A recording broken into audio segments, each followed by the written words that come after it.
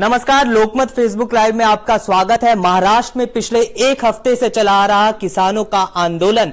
किसानों की आज सरकार से बातचीत हुई थी, उसके बाद आंदोलन खत्म होने की खबरें आ रही है। मुंबई में हज़ारों किसान पैंतीस हज़ार से भी ज़्यादा संख्या बताई जा रही थी। किसानों की मराठवाड़ा क्षेत्र से किसान पहुँचे थे और अपनी मांगों को लेकर प्रदर्शन कर रहे थे और आज उनका विधानसभा को घेराव करने का भी उनका, उन्होंने ऐलान किया था। लेकिन सरकार से बातचीत के बाद ऐसी खबरें आ रही है कि उन किसानों ने अपना आंदोलन वापस ले लिया है। मेरे साथ आदित्य है। आदित्य, क्या है इस पर ताज़ा अपडेट? क्या किसानों ने आंदोलन वापस ले लिया है? क्या है ताज़ा अपडेट? योगेश, अभी ये कहना जल्दबाजी होगी कि किसानों ने आंदोलन वापस ले लिया है। दरअसल क्या हुआ कि जो किसानों का आंदोलन था, उनको सभी राजनीतिक पार्टियों का समर्थन मिलने लगा। उनके पास एनसीपी पहुँच गई, उनके पास शिवसेना पहुँच गई, उनके पास कांग्रेस पहुँच गई। सभी लेफ़्ट के लेफ़्ट के आधार पर यह आंदोलन चल ही रहा था। बीजेपी को भी जल्दी मची हुई थी कि वो क्यों दुश्मनी मोल ले रही है? किसानों का वोट आधार होता है तो वो भी नहीं चाहती थी कि किसी भी तरीके की वो दुश्मनी मोल ले। इसके लिए कल ही से रुख नरम था। जो केंद्रीय मंत्री हैं गिरिराज किशोर, वो लगातार बयान दे रहे थे कि हम किसानों की मांगे मान ले रहे हैं। करीब अस्सी प्रतिशत मांगों पर हमारा समर्थन है उनका। जो बीस प्रतिशत मांगे हैं उनपे भी धीरे धीरे बात करके उन पर हल निकाला जाएगा। तो बीजेपी भी एक तरह से सरेंडर कर ही रही थी। आज विधानसभा का घेराव किया जाना था। किसान बड़ी संख्या में पहुँच गए थे। आज़ाद मैदान करीब पैंतीस हज़ार किसान थे। लेकिन सरकार ने उनको मिलने के लिए बुलाया कि घेराव करने से पहले हम लोग बात करते हैं और वहाँ 12 सदस्यीय प्रतिनिधि मंडल गया किसानों का और उनकी करीब 12 मांगे थी। करीब क्या? 12 मांगे ही थी। हमारी जो बात हुई, अखिल भारतीय किसान सभा के अध्यक्ष, अशोक धावले से तो उनकी बारह मांगे थी। उनको उम्मीद थी कि इन मांगों पे वो किसी भी मांग पे किसी भी तरीके का कंप्रोमाइज करने के मूड में नहीं थे। उन्होंने कहा कि हमें सारी मांगे पूरी की जाएगी, वरना हम यहाँ से वापस नहीं जाएँगे। कल पूरे दिन के दौरान, कई फेसबुक लाइव के दौरान जो हमारी वहाँ के किसानों से बात हो पाई, उसमें भी यही साफ़ कहा गया कि ये लड़ाई आर पार की लड़ाई है। और इस लड़ाई को अंतिम अंजाम तक पहुँचाए बिना अपनी सारी मांगों पर समर्थन लिए बिना सरकार का, मुहर लगाए बिना या लिखित आश्वासन के बिना हम यहाँ से वापस नहीं जाने वाले हैं। तो ताज़ा अपडेट अभी की यही है कि उनकी मीटिंग खत्म हो चुकी है। सरकार के साथ किसानों के प्रतिनिधि मंडल की मीटिंग खत्म हो चुकी है। और देखना होगा कि क्या उसमें हल निकल के आया है। अभी कुछ पुष्ट खबरें नहीं आई हैं, लेकिन ये माना जा रहा है कि सरकार अधिकांश मांगों पे किसानों का समर्थन कर रही है। तो देखते हैं अभी क्या पुष्ट खबरें आती हैं तो पुष्ट खबरें यहाँ पर अभी सामने नहीं आई है लेकिन जिस तरीके की तीन घंटे लगातार बैठक चली किसानों की सरकार के प्रतिनिधि मंडल के साथ उसके बाद ऐसी खबरें आ रही है कि शायद किसान अपना आंदोलन वापस ले ले। आदित्य एक सवाल यहाँ पर उठता है कि पिछले एक हफ़्ते से जो हाहाकार मचा हुआ था नासिक से लेकर जो मुंबई तक पैदल मार्च चला इतने सारे किसान इकट्ठा हुए सरकार ने भी इकट्ठा होने दिया। जब माननी ही थी मांगे तो इतना बवाल क्यों मचाया? योगेश, बहुत बड़ा दुर्भाग्य है ये। किसान जो है जब नासिक से चले थे शाम में छह तारीख को सीबीसी रोड से तो पहला हॉल्ट जो उन्होंने लिया था, करीब पंद्रह बीस किलोमीटर दूर वहाँ नासिक शहर से बाहर तो उनको जो है, जो सर्विस रोड थी, हाईवे था नासिक, महाराष्ट्र वाला, नासिक, मुंबई वाला हाईवे था तो वहाँ प्रशासन ने मना कर दिया कि यहाँ आप रुक नहीं सकते हैं। तो उनको जो है, नदी के किनारे, एक वहाँ छोटी सी नदी है, उसके किनारे, आसमान के नीचे खुले और कंबल वम्बल जो भी उनके पास था, ओढ़ के उन्होंने रात गुजारी। इसी तरीके से छह दिन का उनका सफ़र रहा। करीब दस हज़ार लोग वहाँ से चले थे जुड़ते जुड़ते करीब जब मुंबई की सीमा में दाखिल हुए ये लोग किसान और आदिवासी आदिवासी मैं इसलिए जोड़ रहा हूँ क्योंकि इन इन प्रदर्शनकारियों में किसानों के साथ आदिवासी किसानों का एक बड़ा हिस्सा है। तो जब ये सीमा में दाखिल हुए तो उनकी संख्या करीब पैंतीस हज़ार हो गई थी। जिस सड़क से गुजर रहे थे, लग रहा था कोई लाल हुजूम चला जा रहा है। और उसके बाद ये इन पूरी घटनाओं के बाद और जो सोशल मीडिया पे ढेर सारी हमने तस्वीरें देखी हैं, उनके पैर फटे हुए एकदम और ऐसे आंदोलनों में जब आप डेली 30 किलोमीटर 40 किलोमीटर का सफ़र तय करते हैं तो आपके खाने पीने का बहुत सही इंतज़ाम नहीं हो पाता है। उसमें महिलाएँ हैं, उसमें युवा युवा भी हैं, बच्चे भी हैं, बुज़ुर्ग भी हैं, किसी तरीके से उन्होंने 200 किलोमीटर की यात्रा पूरी की अपनी मांगों को लेकर। और उसके बाद कह दिया गया, सरकार कह रही है, या अभी आंदोलन अगर खत्म कर दिया जाता है तो ये सवाल बहुत बड़ा है और बहुत अच्छा सवाल है कि अगर ये मांगे मान ही लेनी थी तो जब आंदोलन शुरू हुआ था, तभी मान लेनी चाहिए थी। एक और बात इसमें मैं जोड़ना चाहता हूँ। पिछले साल जून 2017 में जब ये मराठवाड़ा में किसानों का आंदोलन शुरू हुआ था उस वक्त भी ढेर ढेर सारे ऐसे जतन किए गए। किसान दूध लेके आते थे और बहा देते थे सड़कों पर, पर सब्ज़ियाँ लेके आते थे फेंक देते थे। ऐसे ढेर सारे प्रतिरोध के प्रतिरोध किए गए। तो उसके बाद सरकार ने एक फैसला किया कि जो किसान हैं उनका चौंतीस हज़ार करोड़ का कर्ज माफ़ कर दिया जाएगा। चौंतीस हज़ार करोड़ कर्ज माफ़ी से करीब नवासी लाख एट्टी नाइन लाख लोग किसानों को फ़ायदा पहुँचना था। साल भर लगभग बीतने वाला है।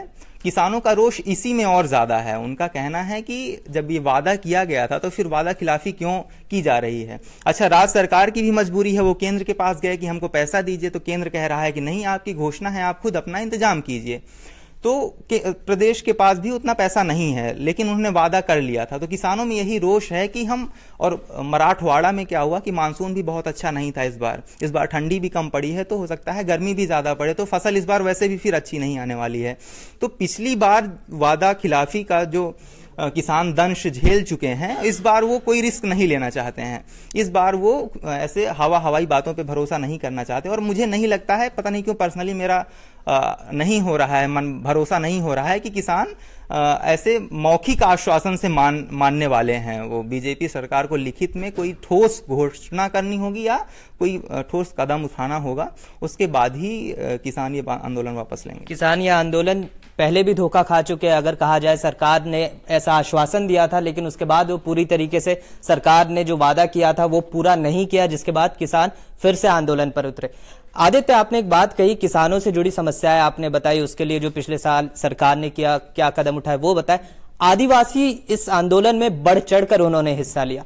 उनकी क्या मांगे थी, वो किस किस लिए, क्या वो सरकार से चाहते थे, किस लिए वो इस आंदोलन से जुड़े थे? आदि आदिवासी जो है ना, वो बड़ी संख्या में सरकार भी ये कह रही है, जो ऑफिशियली एक मंत्री ने बयान दिया कि चार पाँच सौ किसान हैं, छह सात हज़ार आदिवासी हैं। सिर्फ़ इतने ही हैं, लेकिन वो जो, जब आप तस्वीर, तस्वीरें देखते हैं तो ये छह सात हज़ार नहीं है, करीब पचास हज़ार लोगों का हुजूम दिखाई देता है। तो इसमें बड़ी संख्या आदिवासियों की है। आदिवासियों को कर्ज माफ़ी से बहुत मतलब नहीं है आदिवासी, क्योंकि उनके पास ज़मीन ही नहीं है तो वो किस ज़मीन के आधार पर कर्ज लेंगे? उनको मतलब है एक 2006 में एक एक्ट पास हुआ था यूपीए की सरकार में, फॉरेस्ट राइट्स एक्ट। ये एक्ट बनाया गया था आदिवासियों को और किसानों को जो उन्हीं जंगल की ज़मीन पर आश्रित हैं, उनको उनका ज़मीन का अधिकार वापस देने के लिए। 2008 में इस एक्ट को लागू किया गया। करीब 12 साल का वक्त गुजर चुका है, लेकिन इसको प्रभावी तरीके से अभी तक इंप्लीमेंट नहीं किया जा सका। अभी भी आदिवासी अपनी ज़मीन को लेकर अपने अधिकार को लेकर संघर्ष कर रहे हैं और वही गुस्सा था उनका। उनका यही गुस्सा है जो निकल के सामने आ रहा है, उनको घर छोड़ने पर मजबूर कर दिया है और वो यहाँ आए हैं। तो यहाँ आदिवासी किसानों की प्रमुख मांग कर्ज माफ़ी नहीं है। उनकी प्रमुख मांग है कि उनको उनकी ज़मीन दे दी जाए, जहाँ से उनके पुरखे सत्तर, अस्सी साल, सौ साल से खेती कर रहे हैं। क्या हुआ था कि भारत में जो है अंग्रेज़ों का शासन बहुत लंबे समय तक रहा है और बहुत क्रूर शासन माना जाता है। तीन शताब्दी तक वो चला था। 1850 में अंग्रेज़ों ने एक लॉ पास किया था जिसके बाद से आदिवासी आदिवासियों की जो ज़मीन थी उसको सरकार ने अपने अधीन कर लिया था और उनके जो अधिकार थे उनको सबको सस्पेंड कर दिया था। उन, उनको उसको अनदेखी की थी।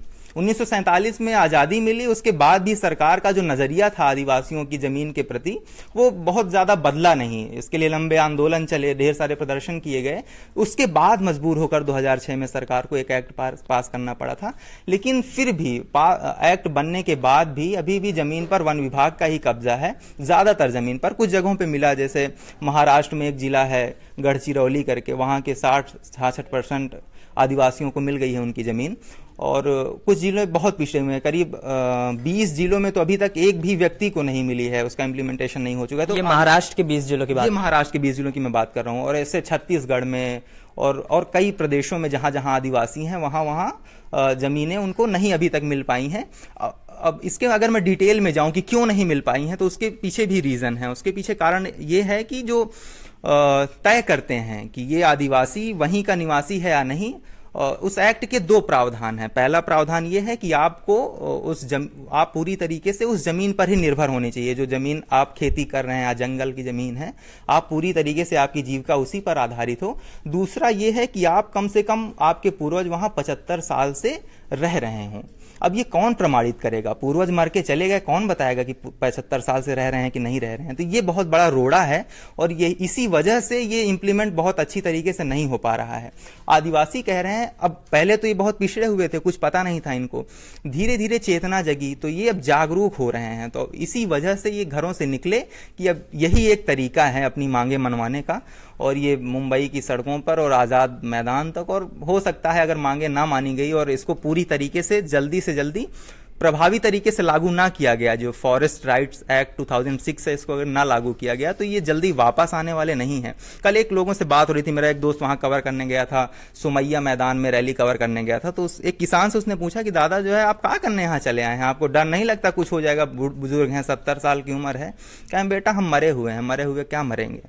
तो ऐसी स्थिति में जब कोई निकल के आया है किसान तो वो आदिवासी किसान तो वो ऐसे वापस नहीं जाएगा। ऐसे वापस नहीं जाएँगे। सरकार लगातार आश्वासन दे, देती रही है किसानों को। पिछले साल भी किसान मध्य प्रदेश में, उसके बाद महाराष्ट्र में लगातार आंदोलन पे उतरे थे, लेकिन सिर्फ़ और सिर्फ़ उन्हें आश्वासन ही मिला। और इस बार तो किसानों के साथ आदिवासी भी उनके आंदोलन में शामिल हुए अपनी ज़मीन हासिल करने के लिए अपने अधिकार हासिल करने के लिए हमारे साथ जनार्दन है यहाँ पे। जनार्दन अगर मैं थोड़ा इसका राजनीतिक पक्ष जानना चाहूँ तो अगले साल लोकसभा के भी चुनाव है और अगले साल महाराष्ट्र में भी चुनाव है। यहाँ पर अगर हमने देखा किसानों का जो आंदोलन था उसमें एनसीपी ने भी अपना समर्थन दे दिया शिवसेना भी आ गई मनसे भी आ गई आम आदमी पार्टी भी आ गई। तो कहीं ना कहीं बीजेपी पर भी यह दबाव था कि वो जल्द से जल्द किसानों की बात सुने। ज़बरदस्त दबाव था। जिस तरह से अभी बात बने थे कि अगर नहीं वो मांगे मानते हैं तो किसान वहाँ जमे रहेंगे। तीस हज़ार नंबर छोटे नहीं होते। एक विधानसभा को अगर तीस हज़ार लोग घेर के बैठेंगे तो ये अपने तरह का एक दबाव है। और इसमें खास बात यह थी कि सभी पॉलिटिकल पार्टीज़ कम्युनिस्ट पार्टी ने शुरू ही किया था, उसमें वो अगुवाई कर रहे थे।